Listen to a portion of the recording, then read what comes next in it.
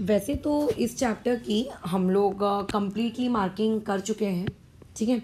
But फिर भी कुछ डायग्राम बेस्ड क्वेश्चन तुम लोगों को मे बी बोर्ड एग्ज़ाम्स में पूछ ले तो एक बार उन डायग्राम बेस्ड क्वेश्चंस की भी मार्किंग कर लेते हैं, ठीक है? डायग्राम बेस्ड क्वेश्चंस की मार्किंग करने का मतलब ये होता है बुक में आपको जहाँ जहाँ डायग्राम दिए हैं, उन डायग्राम से आपको कोई सवाल पूछना शुरू कर दे। डायग्राम को देखो और डायग्राम से रिलेटेड सवाल बना ले। जैसे कि पहला डायग्राम बेस्ड क्वेश्चन तो देखो यही हो सकता है, इसको मैं डी वन कर देती हूँ। ये डी वन मतलब क्या होगा आपको पेपर में? ऐसा ही एक चार्ट बन के आएगा आपको, सिर्फ़ या तो यस नो लिखना होगा, या तो क्रॉस और राइट बनाना होगा, या फिर आपको इस डायग्राम को देख के क्लासीफाई करना होगा। इस तरीके से कि यहाँ पे फ़िज़िकल वाले लिखिए, यहाँ पे केमिकल वाले लिखिए। तो एक डायग्राम बेस्ड क्वेश्चन ये हो सकता है। ठीक है? नेक्स्ट में आते हैं। Next diagram based question page number thirty one के टॉप में जो ये डायग्राम दिया है, इससे बनाया जा सकता है। इससे क्या बनाया जा सकता है? डायग्राम बेस्ड क्वेश्चन उस पर बात करो। इससे आपको बहुत सारी चीज़ें पूछ लेगा, जैसे कि क्वेश्चन नंबर वन यहाँ से उसने क्रिएट करके तुमको पूछ लिया, ये वाली, ये वाला चार्ट इसको ये इस तरीके से, ये इस तरीके से, ये डायग्राम बना देगा। और ये डेटा आपको गिवन दे देगा, ये डेटा गिवन होगा, ठीक है? ये डेटा गिवन होगा डायग्राम आप लोगों को गिवन होगा और इस चार्ट को भरने को कहेगा कि इस चार्ट को फिलअप करो। ये एक पर्टिकुलर एक्टिविटी बेस्ड क्वेश्चन आपके पेपर में पूछा जा सकता है कि अगर हम लोगों ने पहला वाला काम किया, हमने क्या किया? लाइमस्टोन लिया और लाइमस्टोन को अगर हम हीट कर रहे हैं तो क्या कोई कलर चेंज देखने को मिलता है क्या? खैर लाइमस्टोन सफ़ेद कलर का होता है ओरिजिनली और लाइमस्टोन के अंदर आपको कोई कलर चेंज देखने को नहीं मिलेगा। तो यहाँ पे हम लोग लिखेंगे नो क्या कोई गैस रिलीज़ होती है? बिल्कुल। लाइमस्टोन को अगर आप हीट अप करोगे तो लाइमस्टोन को हीट करने से गैस रिलीज़ होती है। अब देखो, अब कैसा है? यहाँ पे टोटल पाँच केसेस दिए first second third fourth fifth और उन पाँचों केसेस के लिए ही आपको पूरा का पूरा चार्ट भरना है। बट ज़रूरी नहीं है कि पेपर में जब आपको ये डायग्राम बेस्ड क्वेश्चन आए तो आपको ये पाँचों के पाँचों दियो कोई दो दे सकता है, कोई तीन दे सकता है, हो सकता है पूरे पाँच दे दे और हो सकता है कोई एक दे दे। जैसे इस डायग्राम में यहाँ क्या लिखा हुआ है? लाइमस्टोन पाउडर इसका मतलब वो क्या कह रहा है? आपको वो सिर्फ़ और सिर्फ़ लाइमस्टोन के बारे में ही पूछ रहा है। वो आपको सिर्फ़ और सिर्फ़ किसके बारे में पूछ रहा है? सिर्फ़ लाइमस्टोन के बारे में पूछ रहा है। यानी कि बाकियों के बारे में पूछ ही नहीं रहा। ठीक है? और लाइमस्टोन का फॉर्मूला होता है सी थ्री तो अगर सिर्फ़ एक के बारे में पूछे तो सिर्फ़ एक का जवाब देना। अगर पाँचों के बारे में पूछे तो पाँचों का जवाब देना। और ज़रूरी नहीं है पेपर में वहाँ लाइमस्टोन ही बनकर आए। लाइमस्टोन के बजाय वो इनमें से कुछ भी लिख सकता है। क्या ये पॉइंट क्लियर हो रहा है? ठीक है। तो अगर लाइमस्टोन लेट से लिख कर आता तो क्या लाइमस्टोन को जब हम हीट करते हैं लाइमस्टोन का फॉर्मूला क्या होता है? C A C O three ठीक है? तो बताइए, कौन सी गैस निकलती है? तो वहाँ पे यस गैस निकलती है। कौन सी गैस निकलती है? सी ओ टू गैस निकलती है। क्या कोई टेम्परेचर चेंज होता है? नहीं, यहाँ पे कोई टेम्परेचर चेंज नहीं होता। और ये कैसी रिएक्शन है? ये एक केमिकल रिएक्शन है। बराबर? ये कैसी रिएक्शन है? केमिकल फिर वो आपसे सेकेंड पॉइंट में क्या कह रहा है? कि आप जिंक लो और जिंक को कॉपर सल्फेट के सोल्यूशन में डाल दो।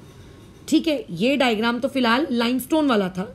तो इससे क्या क्वेश्चन पूछेगा? इससे क्वेश्चन नंबर वन पूछ लेगा आपसे कि क्या कोई कलर चेंज हुआ? तो आप जवाब दोगे कि यस और नो है ना, ये डायग्राम टू आपसे क्वेश्चन क्वेश्चन पूछ लेगा, क्या कोई गैस इवॉल्व हुई? यस और नो जवाब दो। आप बोलोगे हाँ हुई तो आपसे बोलेगा, उस गैस गैस का नाम बताओ। तो आप नाम बताओगे। फिर आपसे वो ये पूछ लेगा कि उस गैस का टेस्ट क्या होता है? मैंने तुमको टेस्ट बताया है ना, उस गैस का, यहाँ पे कौन सी गैस निकल रही है? सी तो क्या तुमको सी गैस का टेस्ट बताया है? हाँ तो तुमसे टेस्ट पूछ लेगा सी गैस का। फिर उसी पर्टिकुलर टेस्ट का, ठीक है रिएक्शन पूछ लेगा explain test with help of reaction तो जब मैंने तुमको टेस्ट पढ़ाया था, जिस वीडियो में टेस्ट पढ़ाया है, उस टेस्ट में वहाँ पे रिएक्शन भी लिख कर दिखाई है। तो वो वाला टेस्ट लिखो, वो ये भी पूछ लेगा। तो सोचो इस एक डायग्राम से ये चार चीज़ें पूछी जा सकती है। या फिर डायग्राम नंबर थ्री यही आपको दे दे कि ये पाँचों इन्फॉर्मेशन दी हो और उन पाँचों इन्फॉर्मेशन की मदद से आपको ये टेबल करना हो। ठीक है? तो सेकंड वाला देखो, मैंने इसीलिए इस एक्टिविटी को अभी तक बचा के रखा था कि पूरा चैप्टर पढ़ने के बाद तुमको अब इतनी समझ तो आई गई है कि जिंक में अगर कॉपर सल्फेट डालेंगे तो ये एक सिंगल डिस्प्लेसमेंट रिएक्शन का एग्ज़ाम्पल है। और यहाँ पे प्रोडक्ट क्या बनेगा? यहाँ प्रोडक्ट बनेगा Z N S O four और जो C U S O four है, वो कौन से कलर का होता है? ब्लू और Z N S O four कौन से कलर का होता है? कलरलेस इसका मतलब क्या यहाँ पे कलर चेंज हुआ? यस यहाँ पे कलर चेंज हुआ। ब्लू से कहाँ पे चले गए? कलरलेस में चले गए। तो कल को इस तरीके की एक स्टेटमेंट लिख कर दे देगा और बोलेगा कि बताओ क्वेश्चन बताओ। क्वेश्चन नंबर वन पूछ लेगा। क्या कोई कलर चेंज हुआ? आप बोलोगे यस बोलेगा, कौन सा कलर चेंज हुआ? तो आप बोलोगे ब्लू टू कलरलेस है ना? आपको पहला क्वेश्चन किसके बारे में पूछेगा? कलर के चेंज के बारे में पूछ लेगा. दूसरा क्वेश्चन वो पूछेगा कि वाई बताइए कलर चेंज क्यों हुआ? तो ये चीज़ अगर मैं तुम्हें चैप्टर की स्टार्टिंग में ही पढ़ा देती तो तुम्हें समझता क्या कि डिस्प्लेसमेंट क्या है, ये क्या है, वो क्या है? तो तुम अब बताना वाई में कि कलर चेंज इसीलिए हुआ because more reactive element zinc ने कॉपर को रिप्लेस कर लिया Z N S O four बना and Z N S O four is colourless फिर क्वेश्चन नंबर थ्री में तुमको ये पूछ लेगा, क्या कोई गैस इवॉल्व हुई? तो नहीं, यहाँ पे कोई गैस इवॉल्व नहीं हुई। क्या टेम्परेचर चेंज हुआ? तो मैं तुम्हें बता दूँ कि डिस्प्लेसमेंट एंड डबल डिस्प्लेसमेंट में टेम्परेचर चेंज हो जाता है, बल्कि टेम्परेचर आप लोगों का इंक्रीज होता है। और ये डिस्प्लेसमेंट रिएक्शन है तो ये भी एक कैसा होगा? केमिकल चेंज होगा। तो क्वेश्चन जो पॉइंट नंबर टू है। इस पॉइंट नंबर टू से तीन क्वेश्चन क्रिएट किए जा सकते हैं। पहला कलर चेंज हुआ कि नहीं हुआ? हुआ तो उसका रीजन समझाओ। तीसरा, आपसे ये पूछेगा, क्या कोई गैस निकली? चौथा, आपसे ये पूछेगा, क्या कोई टेम्परेचर में चेंज आया? पांचवा, वो ये पूछेगा, क्या ये रिएक्शन फ़िज़िकल है कि केमिकल है? ठीक है? फिर उसके बाद देखो क्या बोल रहा है थर्ड केस में K two C R O four ले लो और उसको बी एस ओ फोर के साथ रिएक्शन करवाओ और बोल रहा है कि बताओ क्या हुआ, क्या कोई कलर चेंज हुआ? तो तुम्हें पता है कि एक डबल डिस्प्लेसमेंट रिएक्शन है। डबल डिस्प्लेसमेंट रिएक्शन में पीपीटी बनेगी, है ना? पीपीटी बनेगी। तो यहाँ पे यस पीपीटी बनेगी। पहली बात तो यहाँ प्रोडक्ट्स क्या बनेंगे? तुमको जितनी केमिस्ट्री सिखाई है, उसके बेसिस पे अब तुम ये बता सकते हो कि यहाँ पे बनेगा के टू एस ओ फोर ये एक बनेगा, और जो दूसरी चीज़ यहाँ पे आप लोगों की बनने वाली है, वो बनेगी B A C R O four ये B A C R O four आप लोगों का कौन से कलर का होता है? येल्लो कलर का होता है। नोट्स में लिख लेना। तो यहाँ पे आपको कौन सी कलर की पीपीटी मिलेगी? येल्लो कलर की पीपीटी मिलेगी। अब वो पूछेगा वाई येल्लो कलर की पीपीटी क्यों बनी? तो तुम उसको समझाना। कि reaction between K two C R O four and B S O four is a double displacement reaction and in this reaction B A C R O four is form which is yellow in colour so therefore in this reaction are yellow PPT क्या कोई gas निकली? नहीं. Double displacement में gases नहीं निकलती हैं, ये याद रखना। ज़्यादातर। क्या कोई टेम्परेचर में चेंज हुआ? बिल्कुल। चाहे आप डिस्प्लेसमेंट पढ़ो या चाहे आप डबल डिस्प्लेसमेंट पढ़ो टेम्परेचर जो होता है, वो इंक्रीज हो जाता है। ये कैसा रिएक्शन है? ये एक केमिकल रिएक्शन है। इसका नाम क्या है? ये डबल डिस्प्लेसमेंट है। ऊपर वाला क्या था? सिंगल डिस्प्लेसमेंट था। उसके ऊपर वाला क्या था? वो डिकम्पोजिशन था। थर्मल डिकम्पोजिशन था, बल्कि वो तो। है ना? आपसे अलग अलग नाम भी पूछ सकता है रिएक्शन के। चौथे में क्या बोल रहा है? N A two C O three की रिएक्शन कराओ C A C L two के साथ। बोलो, क्या होगा? तो देखो, ये भी एक डबल डिस्प्लेसमेंट रिएक्शन होगी केमिकल इसमें भी टेम्परेचर इंक्रीज होगा। और जैसे कि मैंने बताया डबल डिस्प्लेसमेंट में गैस नहीं निकलती। प्रोडक्ट क्या बनेगा, बस इतना बताओ।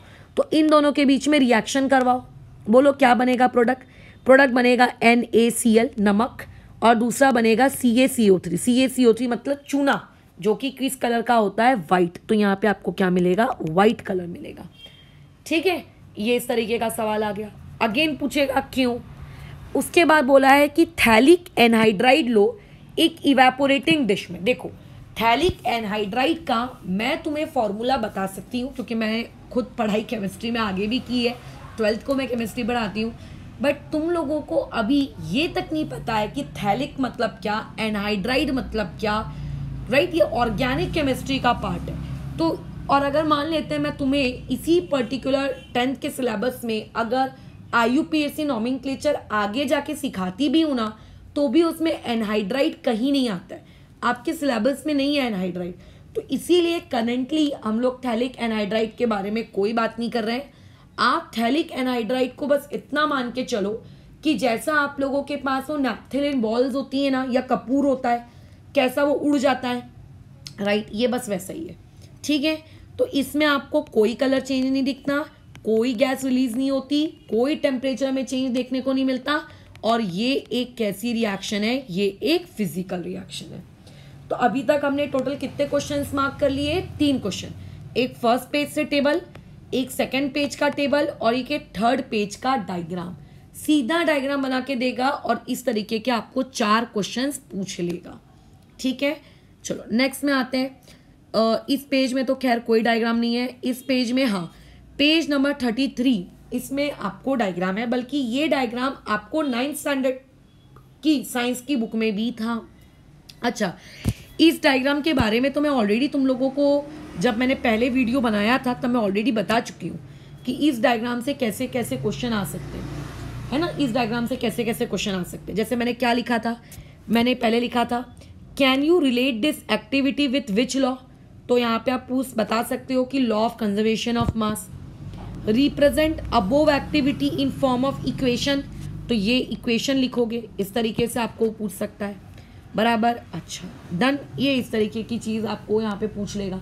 तो ये मैं ऑलरेडी मार्क करा चुकी हूँ। डी फोर अच्छा डी फाइव ये डायग्राम बेस्ड क्वेश्चन आ सकता है बट ज़रूरी नहीं है कि यही एलिमेंट्स पेपर में भी लिख कर आए।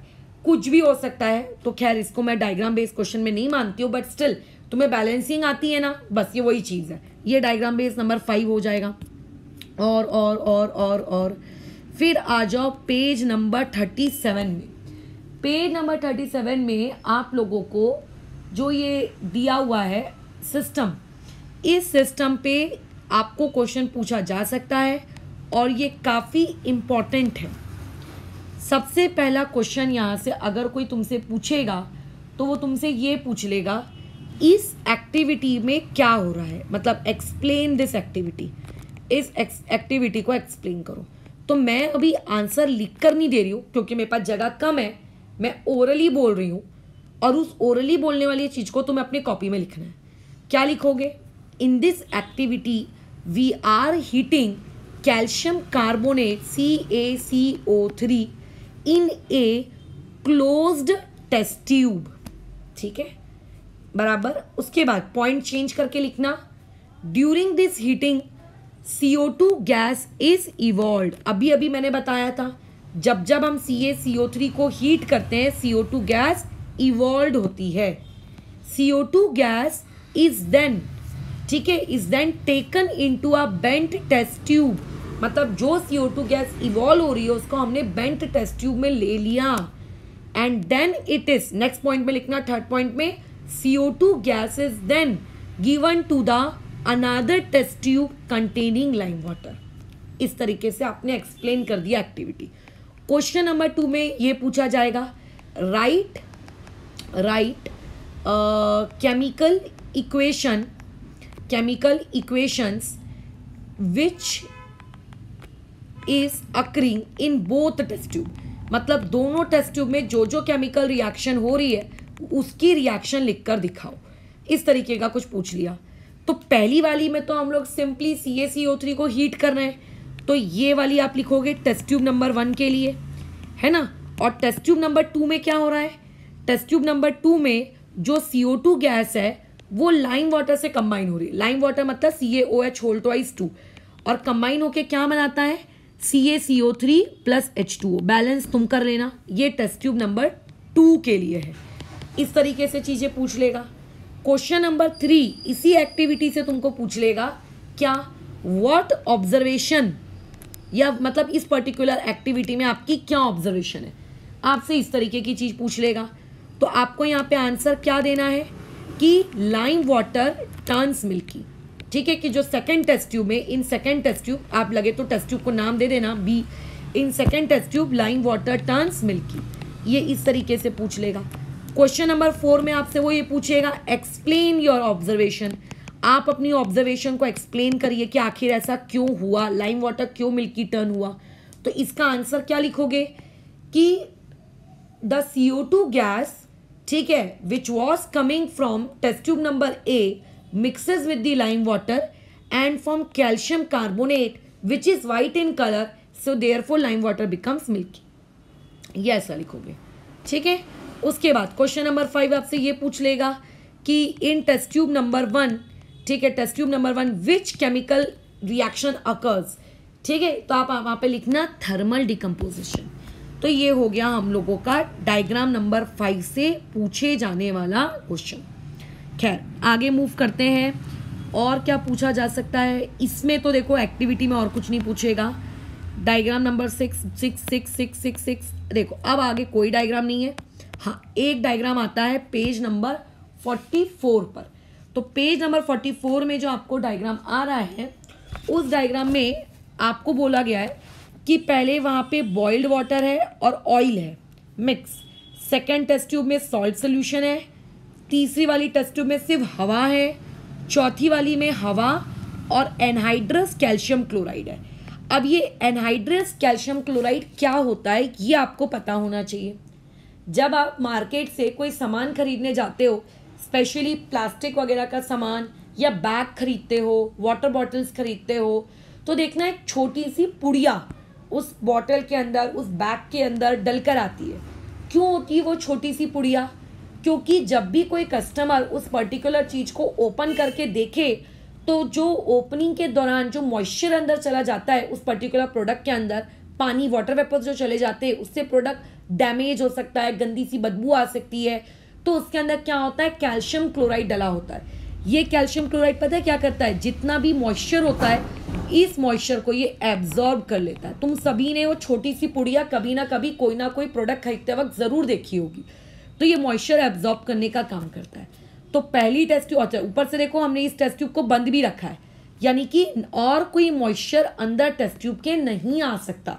यानी कि basically test tube number four में किसी भी प्रकार का कोई भी मॉइस्चर नहीं है। ठीक है? क्या ये समझ में आ रहा है? पेपर में यही चारों टेस्ट ट्यूब मैंने आपको दे दी ड्राइंग और आपसे क्वेश्चन पूछा। क्वेश्चन नंबर वन सबसे मैंने पहले पूछा, यहाँ पर ये सारी टेस्ट ट्यूब में से सबसे पहले रस्टिंग रस्टिंग का ऑर्डर बताओ। रस्टिंग का ऑर्डर बताओ।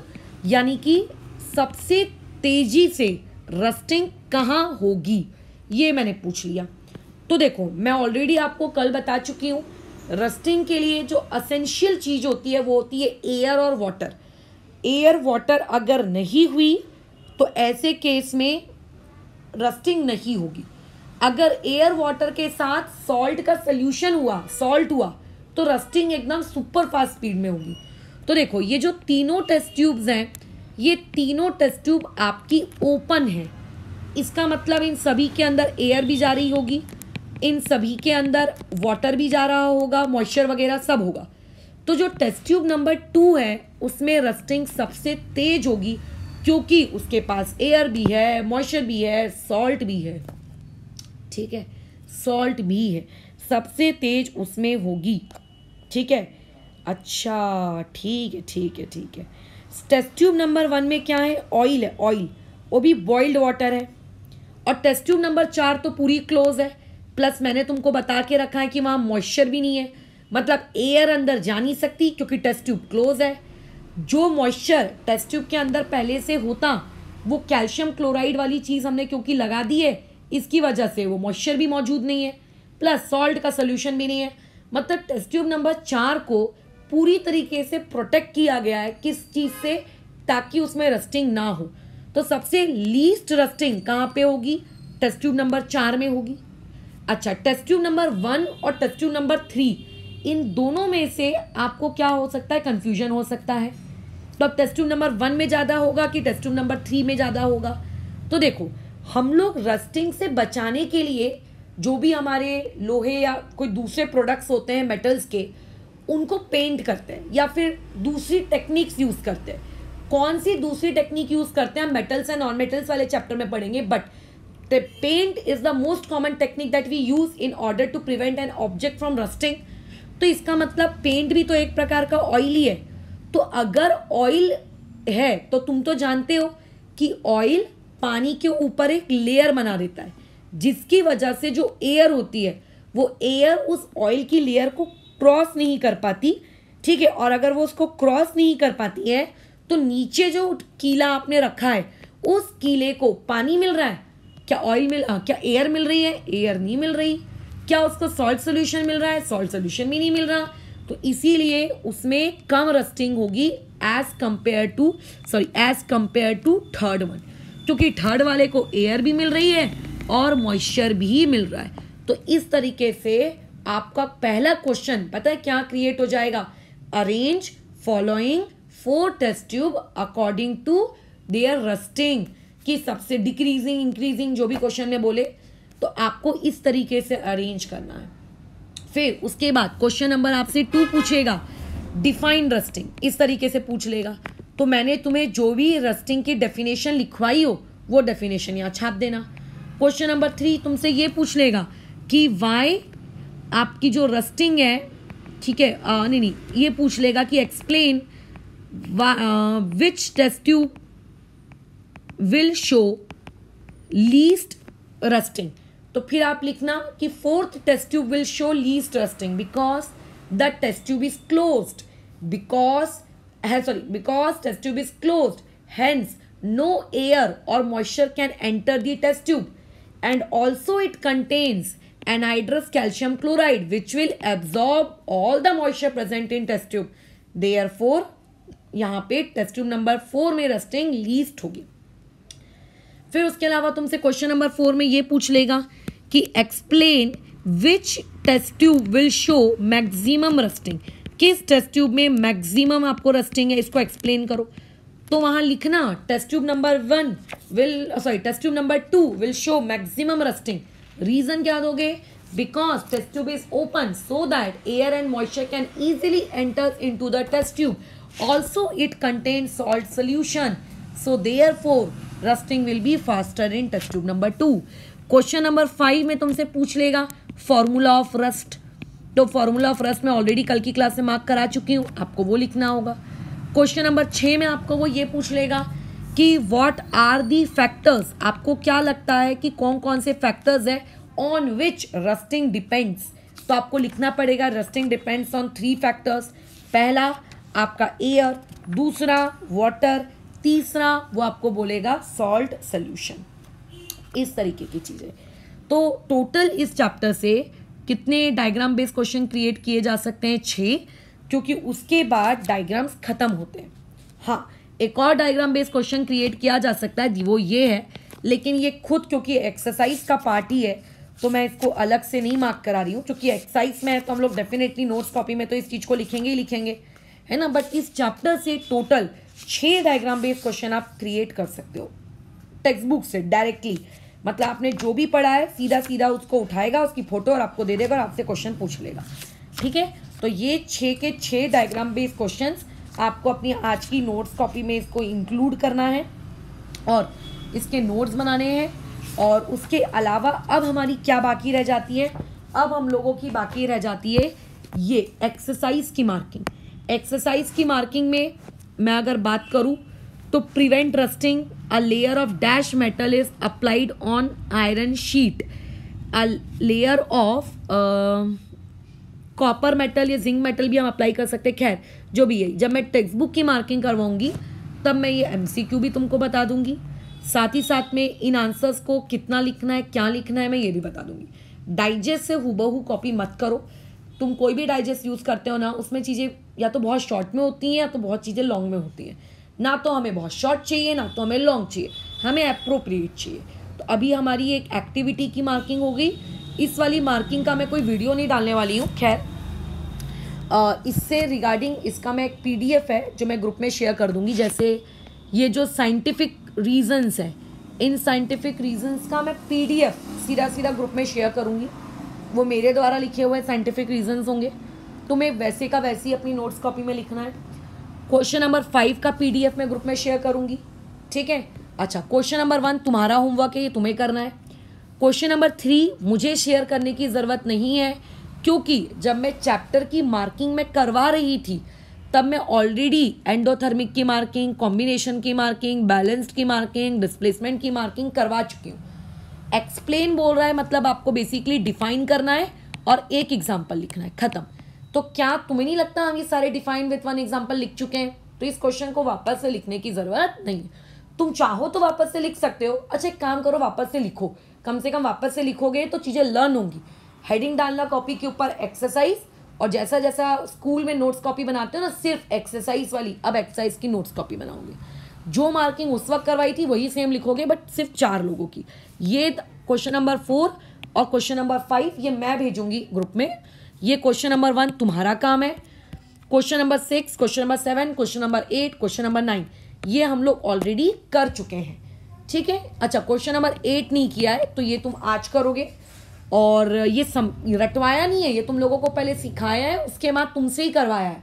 इसका मतलब ये जो एक्सरसाइजेस के पीछे के जो सवाल होते हैं न्यूमेरिकल या केमिस्ट्री टाइप के ये कोई रटने वाले सवाल नहीं होते। आप इनको कंसेप्चुअली ब्रेक कर सकते हो, इनको कंसेप्चुअली सॉल्व कर सकते हो, अगर प्रॉपर तरीके से सिखाया जाए तो। खैर क्वेश्चन नंबर टू में आते हैं। क्वेश्चन में हाँ क्वेश्चन नंबर टू मुझे तुम्हें पूरा मार्क करके देना होगा। ठीक है तो मैं देखती हूँ question number two question number four और क्वेश्चन नंबर फाइव इन तीनों का एक मार्किंग का मैं एक वीडियो ही बना लेती हूँ बेस्ट है। उस वीडियो में जैसा जैसा लिखाया गया होगा, वैसा वैसा तुम्हें अपनी नोट्स कॉपी में लिखना है। ना कम, ना ज़्यादा। एग्जैक्टली exactly उतना। और कल हम लोग इस चीज़ की मार्किंग करेंगे और कल एक्सरसाइज की मार्किंग करके ये चैप्टर हमारा ऑफिशियली क्लोज हो जाएगा। ठीक है? इसके बाद फिर हम लोग आगे नेक्स्ट चैप्टर साइंस टू वगैरह का या फिर देखते हैं आगे।